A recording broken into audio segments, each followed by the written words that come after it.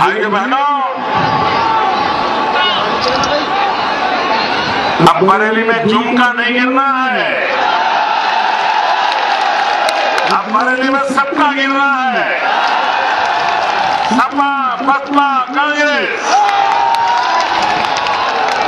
सबका गिरना तय है।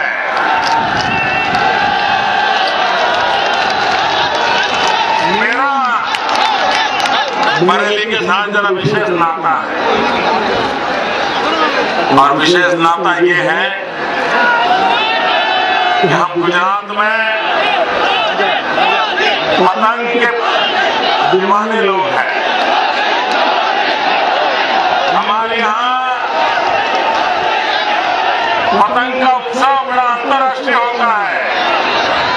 लेकिन अगर बरेली का मांझा नहीं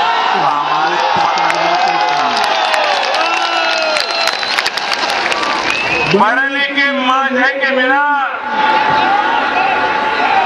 हमारे गुजरात का पतंग कहा जाएगा?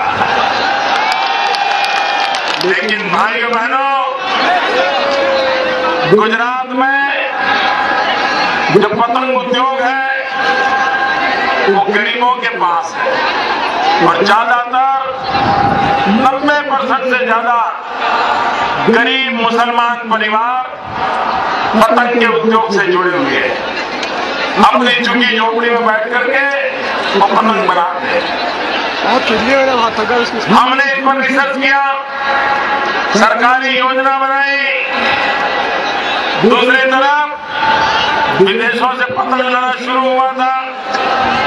हमारे गरीब लोगों को बचाना था।